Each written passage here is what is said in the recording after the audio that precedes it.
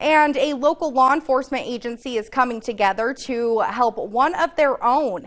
KX News' Samantha Saylor spoke with an organizer of the benefit to learn more about the man and hero fighting for his life.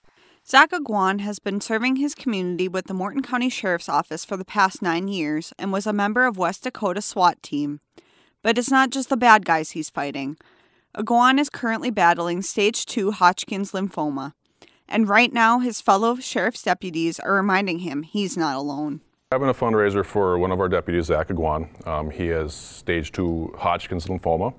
Um, he's been fighting this for the past eight months. He's been going through chemo for the past eight months. He's been actually had a diagnosis for over a year.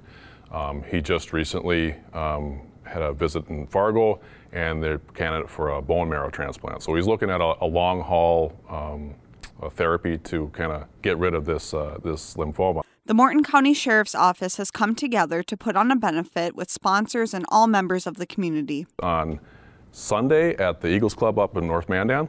Uh, this some of the stuff here is uh, some of the stuff we're going to have for um, silent auction, and uh, we have a, a, penny raffle auction and a silent auction, um, and then we also have a gun raffle that we're doing in two weeks in December 16th. So the, all this is to, to benefit Zach. There's also going to be a bake sale. We've got a bunch of stuff coming in um, from folks in the community. Um, and, and we're, we're really blessed to have the support we've had so far. The benefit will begin with a free will donation chili meal, which begins at 11 a.m. Auctions will continue throughout the day until 4 p.m. We, we do want to stress that we're really um, thankful for the community support. You know, we can see there's tons of items here. I think we're over 150 right now. Uh, we're expecting a whole bunch more bake sale items. You know, all sorts of good Christmas goodies coming up. Um, the community has really stepped up and supported us, and, and it's really important. Um, uh, uh, cancer really sucks. It's hard for people. Um, lymphoma is really weird. It's, it's rare, and then Hodgkin's lymphoma is even more weird and even more rare.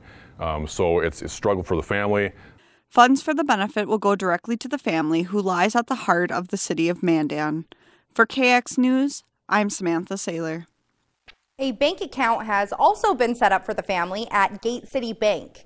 If you would like to donate items for the bake sale or silent auction, they can be brought to the Morton County Sheriff's Office located at the address on your screen.